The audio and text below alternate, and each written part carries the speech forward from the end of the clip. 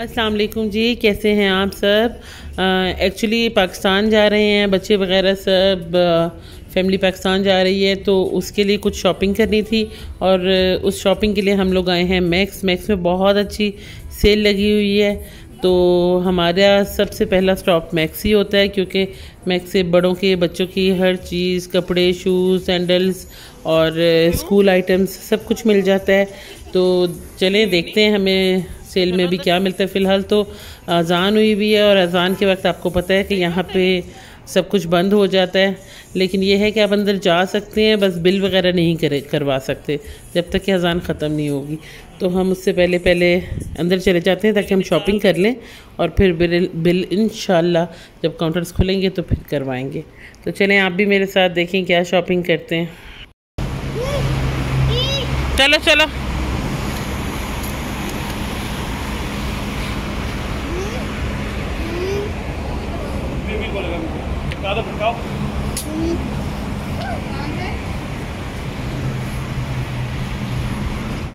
Actually बच्चे बहुत long time के लिए घरों में रहे हैं। लॉकडाउन की वजह से तकरीबन सात, आठ माह से तो और जिमल तो स्पेशली चूँकि सेंसेबल ही अभी हुई है तो उसने जब से सेंसेबल हुई है, बिल्कुल बाहर नहीं निकली और लोगों को नहीं देखा तो उसके लिए बहुत अजीब है। और वो गार्ड से तो स्पेशली बहुत ज़्यादा डर रही थी।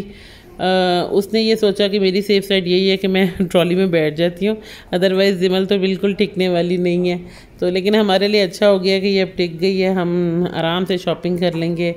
शॉपिंग में बहुत अच्छी चीज़ें सेल में लगी हुई हैं लेकिन सेल का ये होता है मसला कि लकीली आपको आपके साइजेस मिल जाएँ तो मिल जाएँ क्योंकि सेल में आपको पता है कि एक दो एक दो करके आइटम्स होती हैं।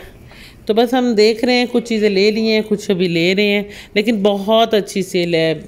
यानी कि आपको जो सेवेंटी रियाल की एक चीज़ है, वो दस से बीस रियाल में मिल रही है। फाइनली जी, हमारी शॉपिंग हो चुकी है, लेकिन सॉरी, मैं बहुत थक गई थी तो मैं इतना वीडियो नहीं बना सकी। और, तकरीबन हमने शॉपिंग कर ली है, लेकिन आपको पता है कि अभी परसों जाना है इन्होंने तो कुछ ना कुछ रह ही गया होगा और परसों तक बाज़ार के चक्कर लगते ही रहेंगे। तो अब वापसी में हम लोग सोच रहे हैं कि कुछ बाहर से ही खा लें क्योंकि इतना थक जाते हैं कि फिर घर जाके खाना वाना बनाना रोटी बनाना थोड़ा सा मुश्किल हो जाता है। फिर ये है कि यहाँ पे इन बच्चों वगैरह के लास्ट डेज़ चल रहे हैं तो चलें इनकी भी मौजें हो जाएँगी। तो हम लोगों ने डिसाइड किया है कि हम पिज़्ज़ा हट जाएँगे और वहाँ पे एक बहुत मज़ेदार ऑफ़र चल रही है नाइन्टी नाइन रियाल में तीन लार्ज पिज़्ज़ाज मिलेंगे। तो हमने वही सोचा है वही डिसाइड किया और हम यहाँ पिज़्ज़ा हट पहुँच गए। जिम्मल जो है वो बहुत तंग कर रही है। बाहर कैटो है उससे खेल रही है और अंदर आ नहीं रही थी। लेकिन बस अब हम ये ऑर्डर कर रहे हैं और फिर वेट करते हैं।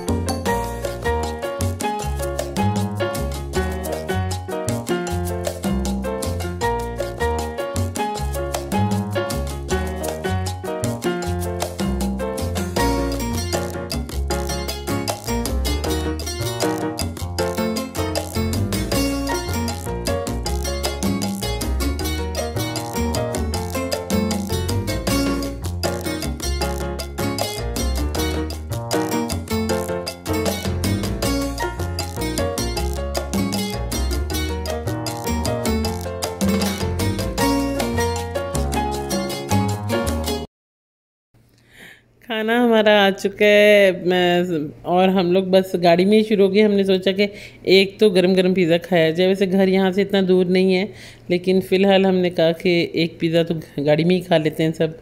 तो अगर मैं आपको इसकी ओरिजिनल साउंड सुनाऊं तो बड़ी मज़े की बातें हैं इसमें और बड़ी मज़ेदार आवाज़ें हैं इसमें। खाने को देख के ही मुँह में पानी आ गया तो बस अब हम खाना खाएँगे इंजॉय करेंगे और फिर घर जाएँगे।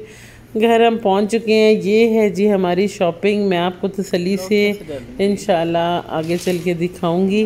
फ़िलहाल तो बहुत ज़्यादा थक गए, फिर भी मैंने एक छोटा सा क्लिप आप लोगों के इसी के साथ व्लॉग को मैं एंड करती हूँ। मुझे दुआ में याद रखिएगा।